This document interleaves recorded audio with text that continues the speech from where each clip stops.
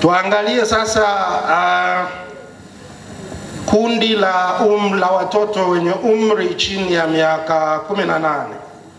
Takwimu zinaonyesha kuwa asilimia idadi ya watoto chini ya miaka 14 18 imeendelea kupungua kutoka asilimia 50.1 ya mwaka 2012 hadi asilimia 49 nukta sifuri mwaka 2022.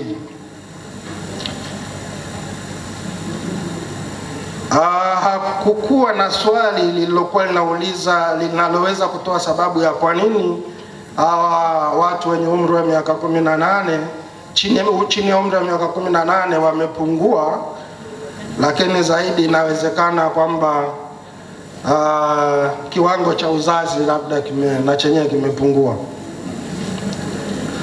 Idadi ya watu uh, watoto chini ya miaka 18 kwa mkoa, mkoa unaoongoza kwa kuwa na watu, na watu wenye umri chini ya miaka 18 ni Simiu ambayo asilimia 57.8 ya watu wake wana umri chini ya miaka 18, ikifuatiwa na Katavi.